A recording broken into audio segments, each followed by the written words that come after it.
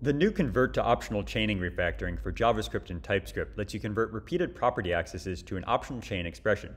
Let's take a look at this in this TypeScript file. So here in the if conditional here, you can see that I have the value style, and then I'm accessing style.sheet, and then style.sheet.rules.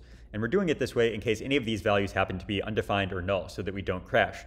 Now the downside is that each time we access one of these values, we have to repeat the previous part. So in this last one, we're having to repeat style.sheet to access the rules property here. This is a perfect use case for optional chaining. So if I wanted to convert this, all I have to do now is go and select the expression I'm interested in, bring up my code actions with the light bulb over here, and then say convert to optional chain expression. So I'll select this refactoring. And when I did this, you can see that VS Code has converted that expression, which was repeating a lot of stuff before, into a nice simple expression here, which doesn't repeat anything. Now it's using optional chaining. Now I could do the same for this one as well. So I'll just go in here, select that, and then say convert to optional chain expression and I've successfully cleaned up my code quite a bit here.